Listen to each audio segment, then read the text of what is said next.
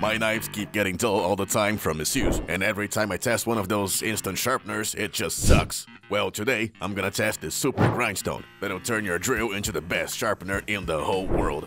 That can make any knife as sharp as a scalpel in a few seconds. It's a double grindstone. This knife here is desperate for some TLC. Look, I've never seen that, so let's install it on the drill. The rougher one is the first, right, Ramon? Yes, to give it a head start, and then the other one.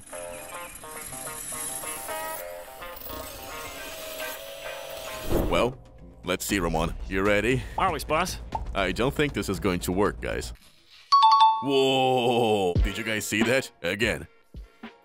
Wow. Wow. Well, we managed to recover the worst knife we had. I think I can say the grindstone's good and that it works.